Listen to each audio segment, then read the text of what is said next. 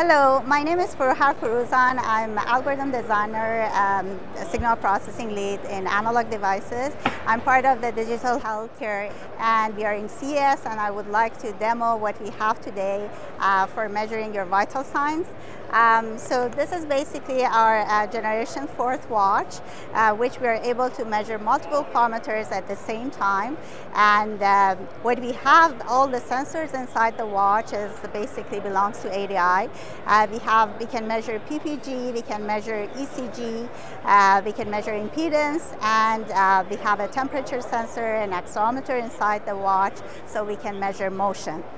Um, so here um, in the slide you can see a summary of the information that we can provide to you.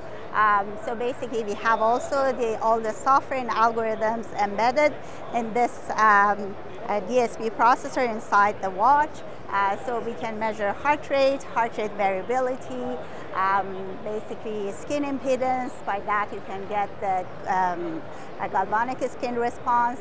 Uh, we can measure motion um, and temperature and also uh, body impedance analysis. Um, so all the signals are basically synchronized and you can get a, a high quality ECG and PPG signals. Um, we have all the tools that you can configure the tools and uh, basically log the data and use it for post processing. So we have different other uh, form factors that basically uh, you can see on top of the watch. We have finger clip. Uh, you can use all this in a form factor of a hearable and put it inside your ear. Um, also, we have a patch. You can measure all uh, oxygen measurement uh, from the uh, chest. Um, and also we have a finger clip with multiple wavelength uh, PPG signals.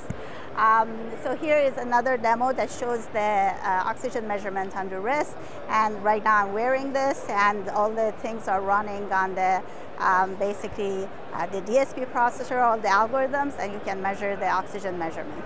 So thank you very much for um, listening to this and uh, for more information please refer to analog.com.